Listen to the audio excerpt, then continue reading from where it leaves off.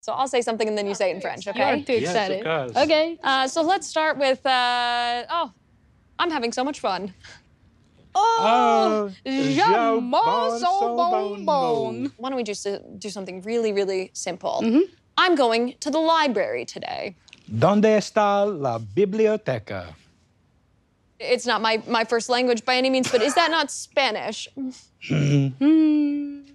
I think Spanish? it's French. It's, uh, the words that I say are French. Seems like it is French to you.